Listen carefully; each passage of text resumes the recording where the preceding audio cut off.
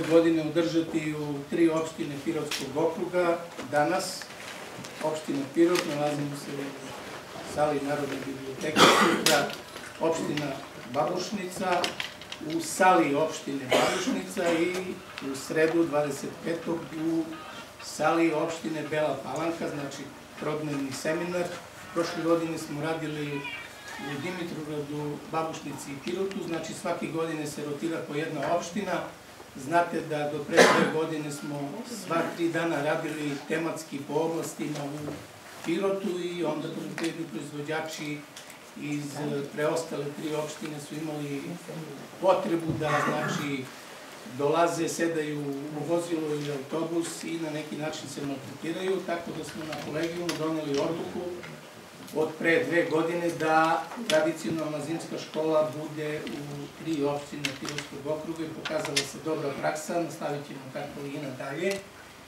I pažljivo smo, pošto pratimo svakog dana u godini interesovanje poljoprivrednih proizvođača, pažljivo smo birali i teme za sva tri dana naše zimske škole. Danas po interesovanju poljoprivrednih proizvođača iz Pirota ne znači da se poljoprivredni proizvođači nisu interesovani, da mi se ubrzano edukujemo, znači da pružimo sredstvetnu pomoć poljoprivrednim proizvođačima pri pisanju izveštaja i biznis planova za IPAR programe koji će biti otvoreni, ja se nadam, već od januara 2016. godine. Tako da ćemo znači, imati i temu iz voćarstva, tu nam je profesor dr. Vladisar Vratarstva, povrtarstva, zaštite bilja, voćarstva sa vinogradarstvom, čak možete da pitate iz oblasti veterine. Na svako pitanje ja se nadam da ćemo moći da odgovorimo. Ukoliko neko pitanje ostane bez odgovora, naći ćemo neko ko zna odgovor i njega ćete u vrlo kratkom vremenskom reći našim profesorima i stručnim saradnicima. Posle svakog tematskog dela imaćete pauzu 5 do 10 minuta za pitanja i ukoliko se uključite, bit ćemo vam zahvalni da svako vaše pitanje dobiti određeni konkretan odgovor. Sada bih zamolio profesora Petrovića da krene i želim svima nama, a i vama, uspješan rad posle zimske škole. Tako da čak i ovih stotinak ne rešava problem, ali može barem da se krene. A trebalo bi verovatno ta služba da ima jedno 600-700 zapošljenih, najmanje koliko ima u Hrvatskoj, pa čak i oni, iako imaju 6-7 puta više zapošljenih, ne mogu vrlo često da obrade sve te ovaj, za godinu dana aplikacije koje, koje imaju, a trebalo bi jedan put godišnje da se raspisuje konkurs.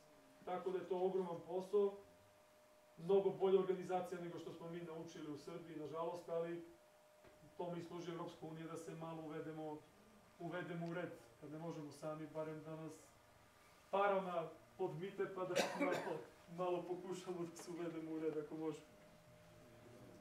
Ovo sam već rekao koje su mere u prvoj fazi predviđene, a ove u drugoj fazi, znači ova druga osa. Оно што е интересантно, тоа е колики е буџет укупан за период околу 230 милиона евра. 230 милиона, овој Фруцен Берис кој се споминио, овој луше само за воќарство и само за за инвестиција у прераду и продај на производа скоро 83 милиона и за диверсификација полjoprivrednih gazdinstava, пред свега за селски туризам 23 милиона. И е овде дато како е тоа допринос Европски Унија odnosno kako su oni u budžetu to predvideli. Vidite, u iznos je 175 miliona evra njihov doprinos, s tim što 2015. je predviđeno